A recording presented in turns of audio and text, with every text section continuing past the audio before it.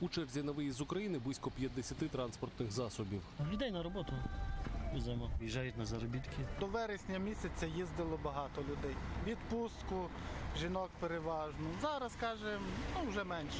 Причини виїздів і справді змінилися, як і кількість тих, хто перетинає кордон. Е, Якщо з середини е, серпня ми спостерігали, що е, збільшилася кількість тих громадян, які в'їжджають в Україну, то зараз особи, які виїжджають з України, переважають над тими, хто в'їжджає.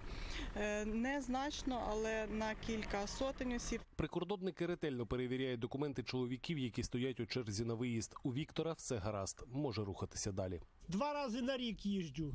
У мене син, син студент в Варшаві в політехніці вчиться.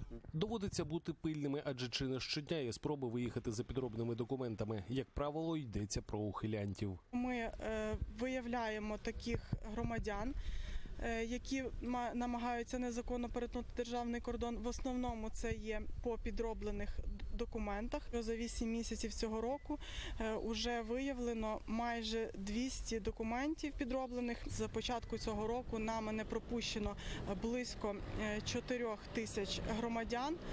Е, Значна частина, а це е, 3600 громадян України, які слідували на виїзд. Ще одна тенденція побільшало іноземців, які їдуть в Україну. Лише на Волині пропускають 200-300 осіб.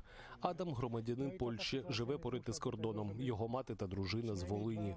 Ми змушені двічі на тиждень перетинати кордон. Якщо субота вільна, то їдемо в п'ятницю, а в неділю повертаємося. Син Адама навчається разом з українцями. Тож чоловік чим може допомагає нашим співгромадянам. Чи ти поляк, чи ти українець, треба якось допомагати. Бо якщо не будемо допомагати, не будемо розуміти, то війна буде в нас.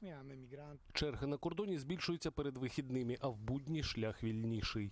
Зараз є добре з України до Польщі, бо є додаткова смуга. А з Польщі до України то треба трохи постояти.